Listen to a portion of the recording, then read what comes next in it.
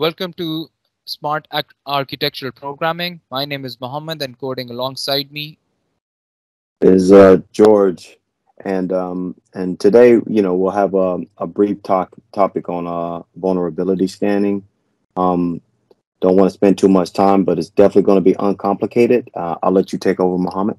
Thank you. So, if when we're talking about basic vulnerability scans, this is more so related to the cybersecurity domain, and Python is main, Python is is the main language that is used in cybersecurity uh, operations, uh, and along with machine learning. Python is also very important in machine learning and artificial intelligence.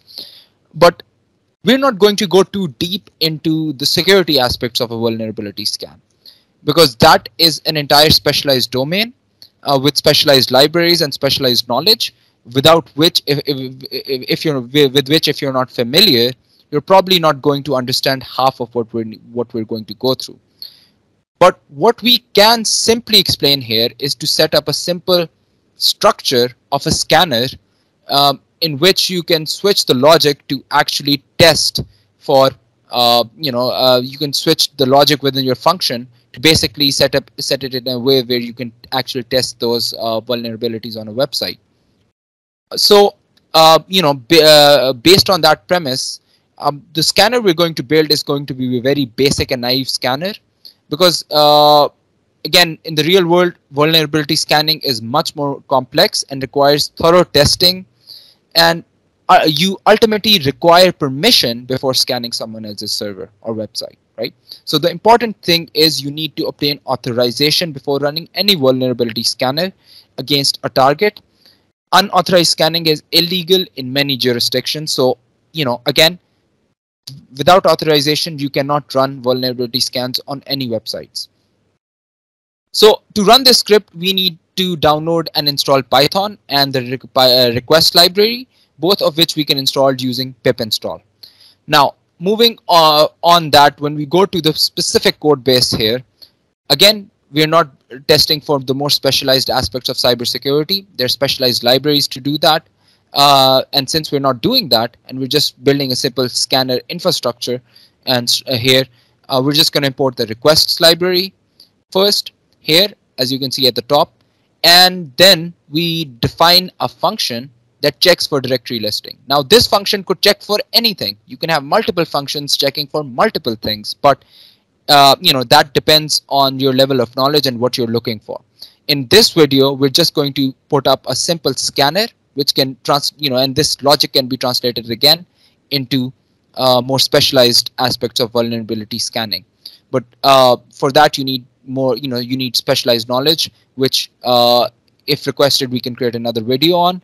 But for now we're just going to focus on the scanning aspect of this code. So we define a simple function that checks for directory listing. Now we're not going to go make a very complicated uh, you know, scanner that's going to test for uh, every different identifier through which you can identify whether a website has directory listings or not. Our um, logic is very simple. We look for the title tag, uh, which in, uh, including specific, uh, you know, uh, uh, key words in it, and if that is if we find those words, um, we we classify that website as having being a directory listing. So uh, within this uh, function, we do use a try and except block.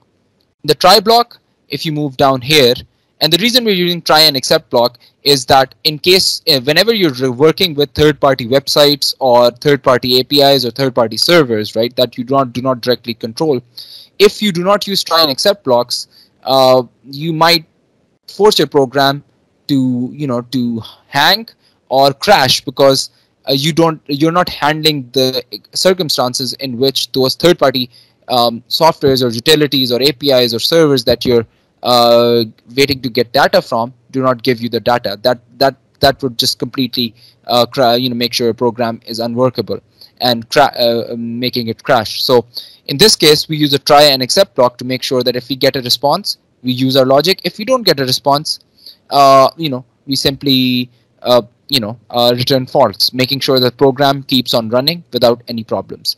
So in the try block uh, we create a variable that tries to get uh, uses request.get basically using this function um, um uh, we uh, go to the url that we uh, that is being sent into this function here, and we um, use our code to actually get you know connect with that URL. So if the response status code is 200, which means the website responded as it should, and the title index of forward slash uh, title tag with index of forward slash is in the response text, then we return true. Else we return false. And we also return false if the try except try try block uh, does not uh, you know does not work or is not able to get a response from the URL at all. So we uh, uh, use the except block where we add requests dot request exception and return false there. Now um, this uh, portion of the code that we're saying here is just to simply run the script. So basically in this code we create a variable that uses input to ask us or the user for the input or the URL that you know it needs to test if the directory listing um, uh, if the check then we run the check directory listing function that we created above and send in the target url we get from the user.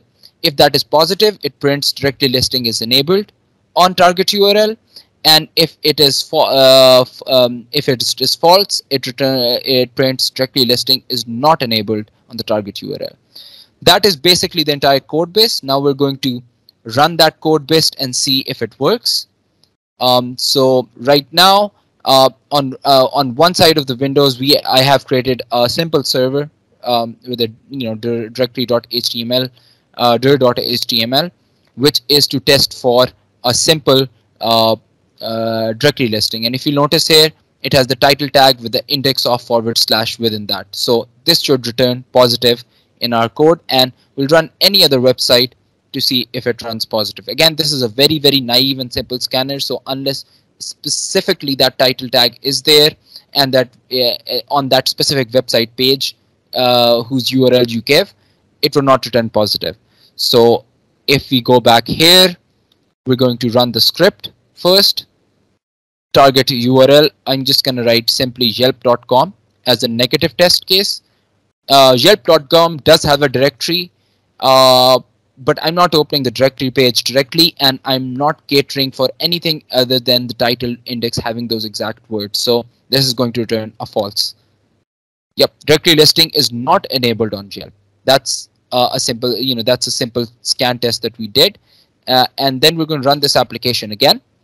Now this time we're going to use our website. Again, the reason we're using this, uh, our own website, is because this is very, very specific parameters for testing that we added in the scanner. So to make sure that we do a positive test of that scanner, we needed to create our own HTML, uh, simple HTML page that we can use to test whether this uh, works out or not.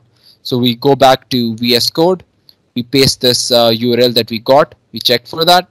Directory listing is enabled because again, we created this specifically to test positive for that title tag. And this is how you can create a very, very simple scanner and you know the only thing different that you could i mean if you you can set up the exact same infrastructure here right? And the, well, you could change uh, the you know the function uh, that i created here to test for other things on the website. Maybe that's just looking for some html tag or image or video or some word on the web page or simply like some simply scanning for that.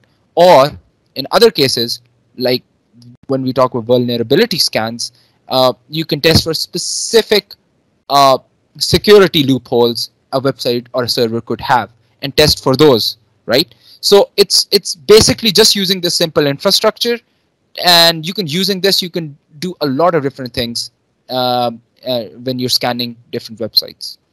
A anything you want to add george before we uh, wrap this video? Uh, no, I mean, uh, you know, this is a quick explanation. It was pretty uncomplicated. I think uh, you drove the um, the main concepts home. Uh, the only thing I just want to mention is uh, if, you all uh, who are watching this video, if you have any specific videos or content that you're interested in, uh, please put it in the comment section below, and we will work to you know customize content specifically for you. That's all I have, Mohammed. Thank you. And with that. Um we're going to wrap our uh, wrap this video and we'll see you in the next video of smart architectural programming Thanks.